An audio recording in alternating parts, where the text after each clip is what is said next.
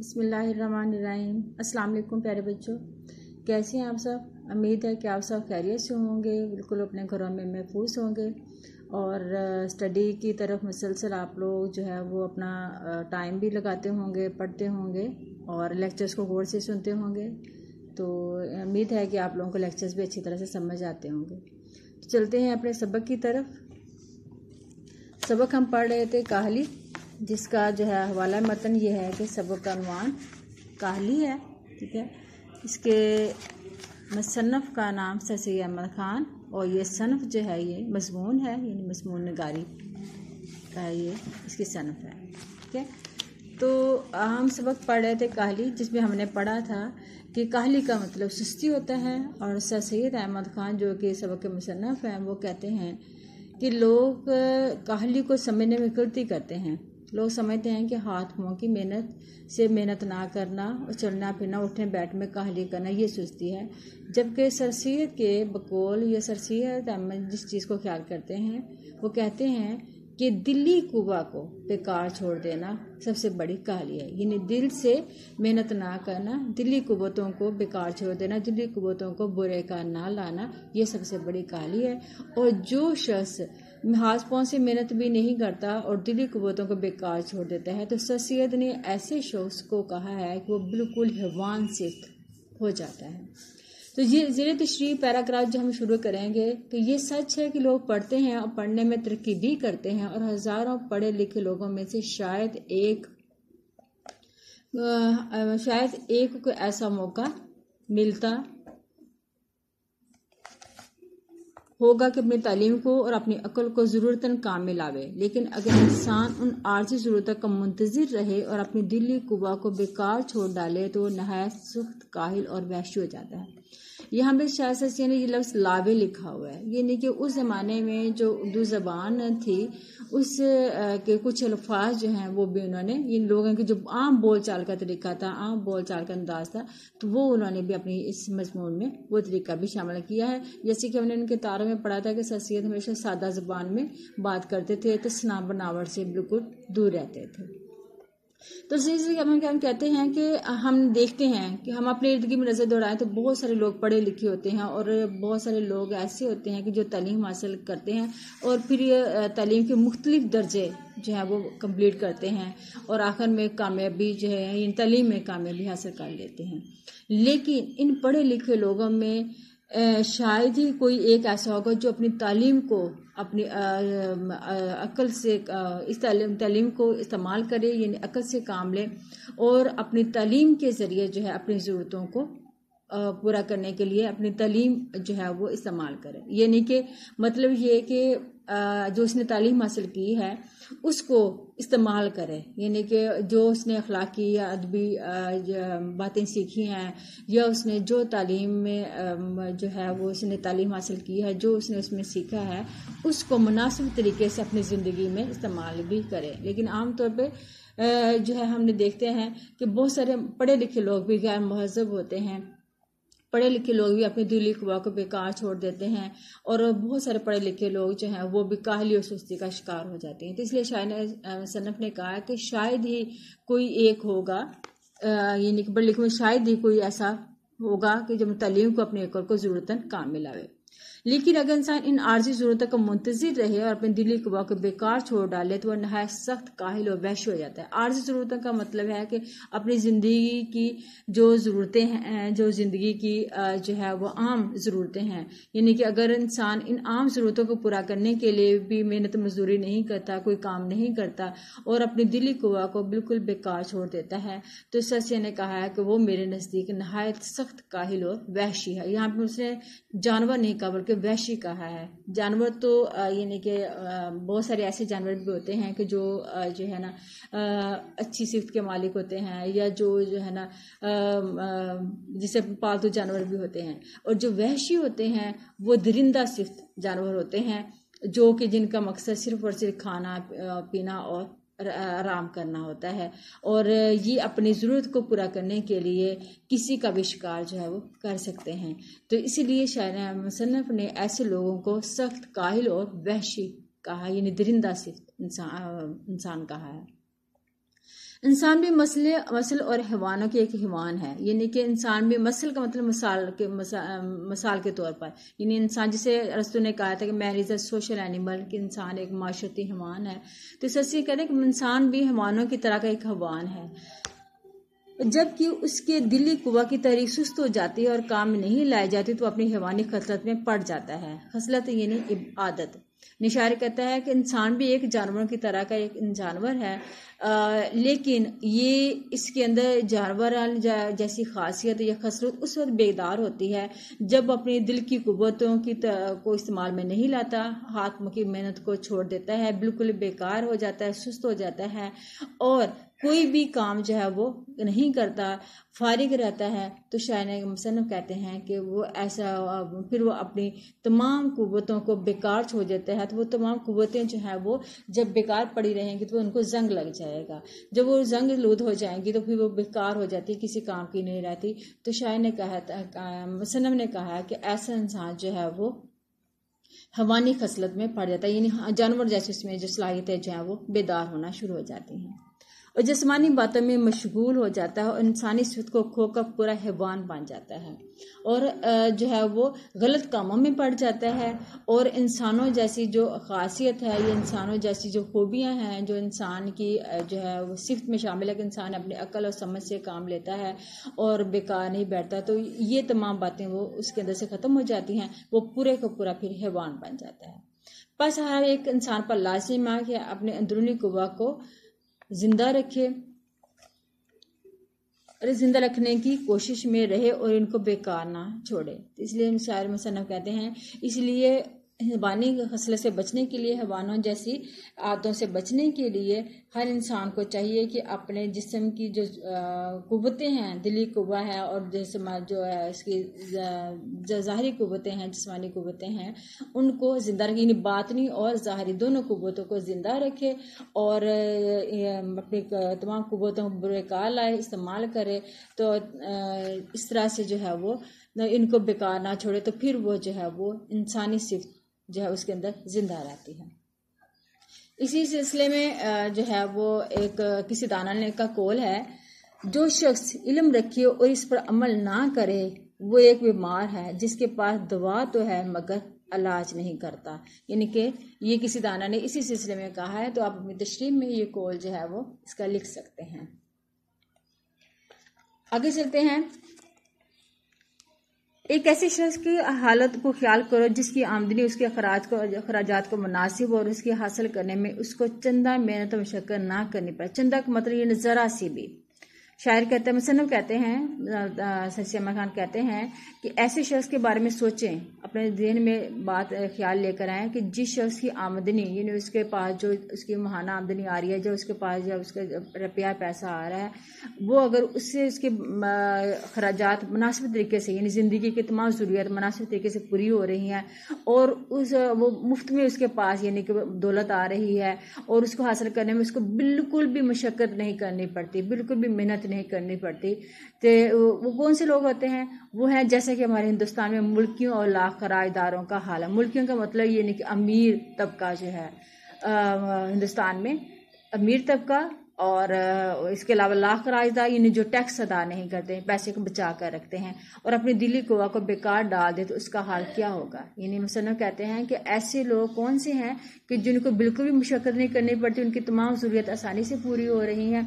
उनके तमाम जो है, अखराज जो है, वो आसानी से पूरे हो रहे हैं। वो कौन से हैं? वो हमारे हिंदुस्तान के वो लोग हैं जो कि अमीर तरीन तबका है और इसके अलावा वो लोग जो टैक्स अदा नहीं करते। तो फिर और ज़ाहिर है फिर अपनी जिसमानी ज़ाहरी कुतों को, यानी हाथ पाँव की मेहनत को भी बेकार नहीं लाएँगे और साथ साथ अपने दिल की कुतों को भी वो बेकार छोड़ देंगे, उनको भी इस्तेमाल में नहीं लाएँगे। तो सैसी अहमद खान कहते हैं कि सोचें, उन लोगों का क्या हाल होगा? ये होगा कि उनकी आम शौक, वहशाना बातों की तरफ़ माइल हो जाएँगे। वहशाना बातों की तरफ़, यानी जानवरों जैसी खसलत, जैसी आदतों की तरफ़ उनके शौक माइल हो जाएँगे, यानी उसकी तरफ़ मतवजा हो जाएँगे। यानी उनके अंदर ऐसी, जो है, शौक पैदा हो जाएँगे ऐसी आते पैदा हो जाएँगी जो कि बुरी आते होती हैं, गंदी आते होती हैं या जो बुरे शौक होते हैं, वो उनकी तरफ़ उनकी तरफ़ मतवजा हो जाएँगे। जो कौन से शौक होते हैं?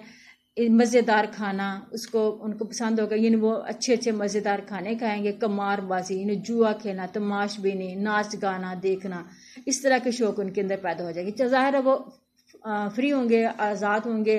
किसी किस्म की मेहनत या किसी किस्म की जो है वो परेशानी उनको लाक नहीं होगी। उन्होंने मेहनत नहीं करनी पैसा उनके पास खुला आ रहा है पैसा उनके पास जो है वो आ, आ, आ, क्या कहते हैं कि बगैर किसी मेहनत के उनको हासिल हो रहा है। तो वो अब अब वो बेकार बैठे बैठे क्या करते हैं? मज़ेदार खाने खाना, जुआ खेलना अपने आप को जो है वो शौक अपने जो उनके अंदर पैदा हो रहे हैं, उनको तस्कीन के लिए जुआ खेलना, और फिर इससे भी दिल भर गया तो जाके नाच गाना देखना शुरू कर देना। ये बातें उनके अंदर पैदा हो जाती हैं। ये सरसी अहमद खान असल में हिंदुस्तान के उन लोगों की तरफ़ इशारा कर रहे हैं कि जो उस वक्त सन अठारह सौ किसी सतावन से पहले के जो हालात थे, उनको भी यानी लोगों को बता रहे हैं कि उन वक्त उस वक्त लोगों के क्या हालात हुए थे, जिसकी वजह से जो है मुगलिया सल्तनत का खात्मा हुआ और जिसकी वजह से लोगों को मुसलमानों को पस्ती का देखनी पड़ी, पस्ती का शिकार होना पड़ा, मुसलमानों पर यह जवाल का वक्त आ गया। तो मुसलमानों को तनबी कर रहे हैं, उनको जो है वो सिखा रहे हैं या उनके अंदर जो है शोर पैदा करने की कोशिश कर रहे हैं कि असल में ससिया के यहाँ पे इशारा जो है, ये मुल्कियों का, अखलाक राजदारों का वही कि शाहजहां जो बादशाह था, थोड़ा सा एयास परस्त था, शायर बादशाह था, आज़ाद ख्याली और जो है वो इस तरह के शौक हर वक्त महफिलें से जाना उनके दरबार में होता था और खुश आमदियों का हर वक्त उनके दरबार में जो है वो डेरा लगा रहता था, वो उनको नवाजता रहता था, दौलत लुटाता रहता था। तो जिसकी वजह से जो है मुसलमान जो है वो अंग्रेज़ जो है वो पूरे हिंदुस्तान पर काबज आ गए और उन्होंने हिंदुस्तान पर कब्जा कर लिया। और मुसलमान जो कि, और वहाँ के रहने वाले थे, जो उनका हिंदुस्तान था, जो वहाँ के मकामी लोग थे, वो गुलाम होकर रह के, गुलामी की ज़िंदगी जो है वो गुजारने पर मजबूर हो गए। तो यहाँ पे ससियमा खान हमें तनबी कर रहे हैं, उन्हीं का जो है हवाला दे रहे हैं, जो कुछ पे अल्फाज में इसमें हम बता रहे हैं कि हम खुद सोचें कि उन वक्त जो है, ऐसे लोग जो कि मुल्की और अलाखराजदार लोग थे तो वो इस तरह की जब उनके दिल्ली कुबा को उन्होंने बेकार छोड़ दिया था तो वो उनके अंदर ये वैश्याना शौक पैदा हो गया था। जब ये वैश्याना शौक पैदा हो जाएँगे तो ये सब बातें उनके वैशी भाई में भी होती हैं। अब यहाँ पे शाह ने सन्नफ ने वैशी भाई उनको कहा है, जो कि, ये तो अमीर तबका हो गया ना वैशी भाई का मतलब गरीब तबका। यानी कि जिनको बिल्कुल भी मुलाजमत नहीं मिलती, जिनको मौका ही नहीं मिलता कि अपनी जिसमानी सलाहितों को, अभी दिल्ली कुबा को अपने हाथों की मेहनत के इस्तेमाल में लाए क्योंकि मुसलमान इस उस इस तरह पस्ती का शिकार हो गए थे, अंग्रेज़ों ने तमाम मुलाजमतों पर कब्जा कर लिया था और मुसलमानों को मुलाजमत से निकाल दिया था और मुसलमान जो है वो रोटी को भी तरस गए थे। तो यहाँ पे शायर ने मुसनफ ने कहा है ये सब बातें उनकी वैश्य भाई में भी होती हैं। ये नहीं कि ये तमाम ज़ारा जब किसी को मुलाजमत नहीं मिलेगी अपने रोटी कमाने का, रोज़ी कमाने का कोई ज़रिया नहीं होगा, उसको काम करने का मौका नहीं मिलेगा, उसको किसी किस्म की कोई भी मेहनत करने को उसको जो है वो मौका नहीं दिया जाएगा तो वो बेकार पड़ा रहेगा। जब वो बेकार पड़ा रहेगा तो वो जो है वो वो भी इस तरह की बुराइयों किसी न किसी बुराई में मुबतला हो जाएगा। इसलिए मुसलमान ने कहा कि ये सब बातें उसके वैशी भाइयों में भी होती हैं। अलबत् इतना फ़र्क होता है कि वो पहवाड़ बदसलीका वैशी होते हैं। पहवाड़ का मतलब था फोहड़, ठीक है? यानी कि बद बदसलीका वैश्य होते हैं ये नहीं बस आ, बस इतना फ़र्क होता है कि ये जो होते हैं ना गरीब तबका ये ज़रा फोड़ किस्म का बदसलीका किस्म के वैश्य होते हैं और जो अमीर तबका होता है ये एक वज़ादार वैश्य होते हैं यानी एक रख रखाव वाले वैश्य होते हैं रख रखाव यानी अला शान शौकत वाले वैश्य होते हैं यानी कहा दोनों को वैश्य है। वैसे भी ये एक क्या कहते हैं कि किसी दाना ने भी इसके सिलसिले में मैं आपको उनका दिखाती हूँ। इससे फिर मैं इसकी वजात करूँगी कि किसी दाना ने, यानी किसी अक्लमंद इंसान ने भी कहा है कि ज़्यादा खुशहाली और ज़्यादा बदहाली दोनों बुराइयों की तरफ़ ले जाती है। यानी कि जब इंसान के पास ज़्यादा पैसा होता है, ठीक है, उसको समझ नहीं आता कि मैंने अपने पैसे को कहाँ कहाँ खर्च करना है और उसके पास इतनी दौलत के वजह से लाल, वो उसके जो है वो दौलत ज़्यादा जमा होने की वजह से वो इसको जो है वो बुराइयों में की तरफ़ मायल हो जाता है। ज़ारा उसकी तमाम ज़रूरत पूरी हो रही हैं, उसकी तमाम जो है हाजतें जो हैं वो आसानी से इस पूरी हो रही हैं। तो वो फिर अपनी दौलत को गलत कामों में इस्तेमाल करना शुरू कर देता है, लुटाना शुरू कर देता है, जिसे कहते हैं। और ज़्यादा बदहाली, यानी जो मुफलिस होता है, गरीब होता है, जब उसको खाने के लिए कुछ नहीं मिलता, जब उसको रोज़ी भी नहीं मिलती, रोटी इसके अलावा मुलाजमत भी नहीं मिलती, कोई काम भी नहीं मिलता, बेकार हो जाता है तो वो भी फिर जो है बुराइयों की तरफ़ माइल हो जाता है। जैसे लोग नशा करने लग जाते हैं, चोरी करने लग जाते हैं, डाका डालने लग जाते हैं कि जब उनको कोई मुलाजमत नहीं मिलती, कोई काम नहीं मिलता तो वो इसी तरह से अपनी ज़रूरत पूरी करने की कोशिश करते हैं। तो ये मसनब ने उनको यानी कि जो पहला तबका है, अमीर तबका, उसको वज़ादार वैशी और जो गरीब तबका है, उसको फुआर मवार यानी बदसलीका वैशी कहा, फोहड़ वैशी कहा है। हम कबूल करते हैं कि हिंदुस्तान में हिंदुस्तानियों के लिए ऐसे काम बहुत कम है, जिनमें उनको कवायद दिली और कुत अकली को काम में लाने का मौका मिले और बरखलाफ इसके और वलायतियों में, खसूस इंग्लिस्तान में वहाँ के लोगों के लिए ऐसे मौके बहुत ज़्यादा हैं। यानी मुसनम कहता है सजा कहते हैं हाँ मुझे, मैं इस बात को समझता हूँ, कबूल करता हूँ, यानी मुझे एहसास है कि हिंदुस्तान में बाकी हिंदुस्तानियों को काम करने का मौका नहीं मिल रहा है। इन हिंदुस्तानियों को जैसे बाकी जो दूसरे हैं, वहाँ पे तबका है, जैसे हिंदू तबका है, अंग्रेज़ तबका है ख़ास तौर पे, उनको जो है अपने काम में लाने का मौका जो है ज़्यादा मिल रहा है, जबकि हिंदुस्तानियों को ऐसे मौके नहीं मिले कि अपने दिल्ली, कुबा को और अपनी अकली कुतों को इस्तेमाल में लाने, लाएँ या इनसे कोई काम लें। यानी उनको बिल्कुल ही जो है वो साइड पे किया जा रहा है। उनको किसी भी मुलाजमत में दखल अंदाजी से रोका जा रहा है या उनको मुलाजमत से महरूम किया जा रहा है।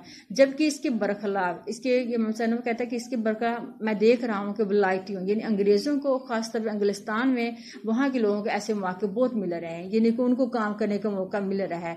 और इसमें कुछ शक नहीं, अंग्रेज़ों को भी कुछ कोशिश कोशिश और मेहनत की ज़रूरत उसका शौकनार है। यानी इसमें भी कुछ शक नहीं कि अगर अंग्रेज़ों को भी कोशिश और मेहनत की ज़रूरत है, इसका शौक ना रहे तो जैसा कि अब है तो वो भी बहुत जल्द वहशत पने की हालत को पहुँच जाएँगे, पहुँच जावेंगे। ठीक है? यूनिवर्सल कहता है कि मैं, जैसा कि मुझे अब नज़र भी आ रहा है अंग्रेज़ भी थोड़े से ना आराम परस्त होते होते जा रहे हैं, क्योंकि उनके पास एक हिंदुस्तान जैसा एक बड़ा इलाका उनके कब्जे में आ गया है और वो मेहनत तरक्की कर रहे हैं। तो आस्था सनम कहता है कि अगर इसी तरह से इनकी तमाम ज़रूरत पूरी पूरी होती नहीं पैसा इनके पास आता रहा तो एक वक्त ऐसा आएगा कि ये भी मेहनत मशक्क़त छोड़ देंगे। इनके अंदर भी मेहनत करने का शौक खत्म हो जाएगा, ये भी मेहनत से जो है घबराने लगेंगे और जैसा कि अब है, यानी जैसे कि अब आहिस्ता आहिस्ता नज़र आ रहा है कि चूँकि अंग्रेज़ों ने पूरे हिंदुस्तान पे कब्जा किया हुआ है तो अब दौलत इनके पास जो है वो जमा हो रही है तो एक वक्त ऐसा आएगा कि ये भी बहुत जल्द वहशत पन्ने की हालत को, यानी ये भी वहशियाना या दिनिंदा सिफ्त, इंसान, सिफ्त हालत में पहुँच जाएँगे। मगर हम अपने वतनों से ये कहते हैं सनो कहता है कि, लेकिन मैं अपने हम वतनों से, हिंदुस्तानियों से, ये मुसलमानों से ये कह रहा हूँ कि हमारे मुल्क में जो हमको अपने कुत दिल्ली कुत अकली को काम में लाने का मौका नहीं रहा है तो इसका सब, भी सबब यही है कि हमने कहल इख्तियार किया है। मिसनम कहता है लेकिन मैं अपने हिंदुस्तानियों से कहूँगा कि हमने क्यों? हमें क्यों नहीं मौका मिल रहा काम करने का? हमें अपने दिल्ली कुतों को और अकल की अकलों को, अकल को इस्तेमाल करने का मौका क्यों नहीं मिल रहा है? इसकी वजह यह है कि हमने सुस्ती इख्तियार कर ली है। हम काहिल हो गए हैं। हमने हाथों की मेहनत छोड़ दिया है। हमने अपनी अक्ल से काम लेना छोड़ दिया है। यानी हम अक्ल से सोच ही नहीं रहे हैं कि ये मुल्क तो हमारा है, ठीक है? यहाँ पे हम लोग इतने अरसे से रह रहे हैं तो यहाँ पे हमें ही काम करने का मौका क्यों नहीं मिल रहा है? तो ये चीज़ है, ये सोचने वाली है। यानी अपने दिली कुवा को बेकार छोड़ दिया। ये मसनों कहता है कि हमने अपने दिल की कुवतों को बेकार छोड़ दिया। अगर हमको कुवाए कलबी और कुवाए अकली कामिल होने का मौका नहीं है तो हमको इसकी फ़िक्र और कोशिश चाहिए। निशारी का मसला कहता है कि अगर हमें अपने कवाय कलबी यानी दिल्ली की कुतों को अकल की कुतों के इस्तेमाल में लाने का मौका नहीं मिल रहा है। यानी ना तो हम काम करने का कोई मौका नहीं मिल रहा, हमें अपने तजर्बात, हमें अपने जो है वो सलाहियतें काम में लाने के लिए हमें आगे नहीं आने दिया जा रहा। तो हमें सोचना चाहिए, फ़िक्र करनी चाहिए कि अगर यही हालात रहे तो हम तो बिल्कुल ही जो है वो बेकार हो जाएँगे और अपना मुल्क जो है, इस इसी में हम गुलामी की ज़िंदगी गुजारने पर मजीद मजबूर हो जाएँगे तो हमें इसकी फ़िक्र और कोशिश करनी चाहिए। और यह सोचना चाहिए कि ये मौका हमें क्यों नहीं मिल रहा है? हमें क्यों आगे नहीं आने दिया जा रहा है? हमसे क्यों मेहनत हमें करने नहीं दी जा रही? अगर उसकी हासिल करने में हमारा कुछ है तो इसकी फ़िक्र और कोशिश चाहिए। और हमें जब हम सोचेंगे तो हम कहीं ना कहीं हमें अपने आप को, अपना कसूर इसमें नज़र आएगा कि इसमें हमारी गलती है कि हमने अपना वतन, अपना जो मुल्क है अंग्रेज़ों के हवाले कर दिया, खुद बेकार हो गए और खुद जो है पीछे हट गए। खुद ब खुद ही हम जो है पीछे होते जा रहे हैं। जैसे जैसे हम पीछे होते जा रहे हैं, हमारी पस्ती जो है, हमारा मुकदर बनती जा रही है। तो हमें इस चीज़ की फ़िक्र और कोशिश करनी चाहिए, सोचना चाहिए कि हमें मौका क्यों नहीं मिल रहा है। कि वो कसूर क्यों कर रफा? हो रफा का मतलब दूर। यानी कि अगर हमारा कसूर है कि हमें अपनी कुतों के इस्तेमाल में लाने का मौका नहीं मिल रहा, यानी हमारा अपना कसूर, हमारी अपनी गलती है तो हमें इस गलती को सुधारना है, हमें इस गलती को दूर करना है और हमें आगे बढ़ने की ज़रूरत है और आगे बढ़ने के लिए हमें काम करना है और काम करने के लिए हमें जो है कोई ना कोई जो है इसका हल सोचना है। गर्ज के किसी शख्स को दिल के दिल को बेकार पड़ा रहना ना चाहिए। किसी न किसी बात की फ़िक्र कोशिश में मसरूफ रहना लाजमी है। एंड में मसनफ जो है वो हमें हल देते हैं।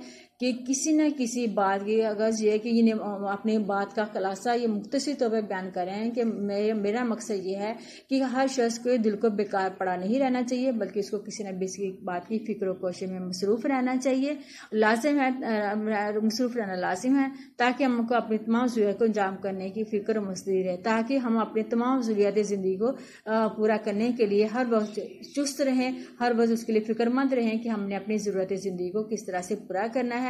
और ना सिर्फ़ हमने इस हाल को ही जो है वो जीना है, बल्कि हमें अपने मुस्तकबिल की फ़िक्र भी करनी है कि आने वाले वक्त में हमारे हालात जो हैं वो हमारे साथ, हमारे हालात कैसे होने चाहिए। यानी कि अब जो हम गुलामी में है तो क्या ये गुलामी हमारे मुस्तकबिल भी हमारा मुकदर रहेगी या हमें इसके लिए फ़िक्र और कोशिश करनी चाहिए कि नहीं हमें अपनी इस गुलामी से जो है वो आज़ादी छुटकारा हासिल करना है। और जब तक हमारी कौम से काली, यानी दिल को बेकार पड़ा रखना ना छूटेगा, हम सना कहते हैं कि, और जब तक हमारी कौम से, यानी मेरे हम वतनों से सुस्ती ख़त्म नहीं होगी, इनके अंदर से अपने दिली सलाहत को इस्तेमाल लाने का मौका नहीं मिलेगा, ये अपनी दिली की सलाहत को इस्तेमाल में नहीं लाएँगे, उस वक्त तक हम अपनी कौम की बेहतरी की तो नहीं कर सकते यानी सनम कहते हैं कि उस वक्त मुझे नहीं उम्मीद कि मेरा, मेरे हम वतन, यानी मेरे हिंदुस्तान के जो है मुसलमान ये तरक्की करेंगे। जब तक ये खुद नहीं सोचेंगे, खुद आगे नहीं बढ़ेंगे, खुद अपने दिली कुतों को और अकल की कुतों को इस्तेमाल में नहीं लाएँगे। ठीक है? उम्मीद है कि आप लोगों को इस सबक की समझ आ गई होगी। तो बेटा ये एक मजमून है और मजमून में आप थोड़ा सा इसका हवाला भी दे दूँ कि मजमून जो होता है, ये हमेशा इसमें सबसे पहले तमहीद बांधी जाती है और बात जो जो भी हम बात कर रहे हैं, उसका मतलब और उसका मानी समझाया जाता है। आग दरमियान में फिर उस पर, उस बात पे बहस की जाती है और एंड में उस बात का कोई ना कोई सोल्यूशन कोई ना कोई हल जो है वो ज़रूर होता है। ये मजमून की खासियत होती है। जब आप टेंथ क्लास में हो जाएँगे, आप मजमून पढ़ेंगे तो फिर आप लोगों को मज़ीद जो है वो पता चलेगा कि मजमून हमेशा जो है वो उस, उसका एंड में कोई ना कोई सोल्यूशन कोई ना कोई हल जो है वो ज़रूर बात का निकाला जाता है। यानी जो भी हम बहस कर रहे हैं, आन में उसका जो है कोई ना कोई हल जो है वो ज़रूर होता है। उम्मीद है कि आप लोगों को लेक्चर समझ आ गया होगा। कल आपने पूरा सबक की तशरी अच्छी तरह से याद करनी है और तशरी तो चूँकि आप लोग याद करेंगे, इसके साथ आपने इस सबक का, पूरे सबक का खुलासा जो है वो अच्छी तरह से याद करना है। तो आपकी डायरी जो है वो इस सबक का खुलासा आपने याद करना है, ठीक है? उम्मीद है कि आपने इसका कुछ सवाल याद कर लिया होगा, अपने कॉपी पे लिख लिया होगा, और आप, आपने इसका खुलासा जब पूरे सबक का खुलासा अपने शेर सरमाया से इसका अच्छी तरह से याद करना है। फिर मान अल्लाह ताला आप सबको अपने हिस्सों मान में रखें।